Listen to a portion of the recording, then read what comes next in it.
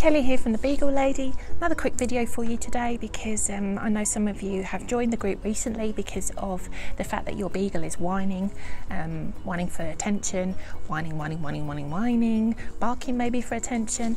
Um, and this is something that we have been struggling with with Billy, our new adopted beagle, who we are into the third week now. Um, and it is a lot better in our house, a lot, lot better. Um, how did I achieve this? Okay, a lot of patience and I did contemplate getting some ear defenders at one point. So basically it's ignoring, completely ignoring everything that Billy has done um, when it comes to whining.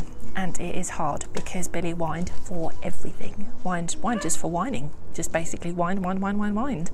Um, we have quite a number of stair gates in our house, so they learn, our dogs learn boundaries. You know, stair gate at the bottom of the stairs, if I go upstairs, you stay downstairs until it's bedtime. Um, so Betty would bark and whine then. Betty would bark and whine the whole time I was upstairs. If I was in the kitchen, we have a stair gate on our kitchen, he could see me, he would still be whining, whining, whining, whining, whining. Um, so uh, it's basically a human based created behaviour something that will have crept up on you really, really slowly, and then bam, you would have thought, oh my god, this is doing my head in. Um, and basically, it would have been that the dog would have got what it wanted. So it might have whined for your attention, it might have whined for its dinner, it might have whined to come in the house, it might have whined. Um, when you were in the bathroom and then when you came out you gave it attention oh i'm so sorry i wasn't gone long um, all that kind of thing Dogs don't whine with each other. You'll notice this. Um, if you watch a pack, they very rarely, and it's usually the youngsters that do it. So it's um, some uh, a young puppy or a young adult in adolescence. Um, and what you'll notice is if they do whine at a dog because they want its attention, that dog completely blanks it. I mean, completely blanks it.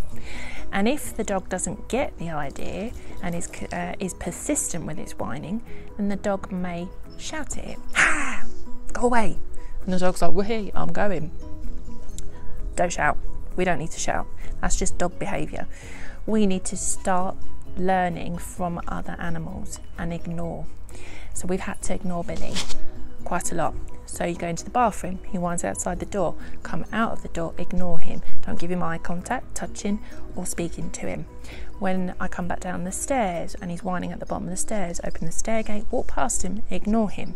When I'm in the kitchen and he I'm preparing dinner and he's whining and he's whining and he's whining, then I ignore him the, the whole time. No eye contact. Most important thing, no eye contact, because if you do give them eye contact, then that is enough attention for them to still keep the whining ingrained in their brain. Um, when he wanders off and goes into the uh, front room and, and settles on the sofa, good boy, Billy, you're such a good boy. So he's learning then that the attention that he wants, the know the, the praise that he wants only comes when he is doing something that uh, we want him to do which is to settle. Whining at the back door doesn't come in until he stops. Initially it was a matter of seconds. So they'll whine whine whine whine whine. Breath whine whine whine whine whine. On that breath open the door. Then you can extend that period of time of um, quietness before opening the door so now, whining wise, um, for Billy, we have got it down to food time. So he'll whine on whilst we're making his dinner. Or if um, I go out the front door, my God, he still goes crazy when I go out the front door.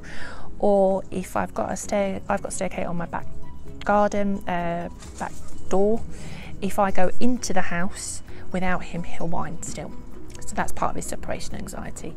But he doesn't whine at the kitchen door anymore. He doesn't whine at the um, gate, stay gate at the bottom of the stairs. Tiny little bits every now and then, but I think that's just because, like I was saying, neural pathways, this is still there. It's becoming dormant, but it's still active. So every now and then it will rear its ugly head and he will go back to his behaviour that he's always used, but we still ignore him. It's not easy I'm not going to lie, three weeks is a long time to listen to a dog whining and ignoring. It is so worth it if you can carry on, persevere. You'll have either a wine free house, or, don't know about wine, but a whining free house, um, at least reduce it considerably. So it is really well worth doing it.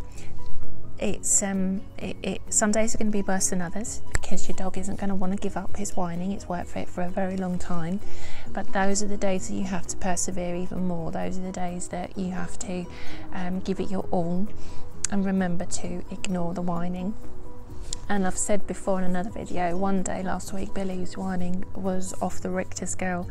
Uh, he'd obviously decided that he didn't want to give up that behaviour. He was going to do it longer, louder and harder. So I ended up going to bed early. I was just like, that's, I've had enough today.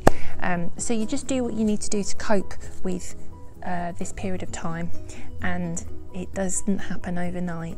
Um, you know, we're in week three, and there are still times with Billy's whining that um, hopefully at some point that will start to dissipate or completely eliminate as well.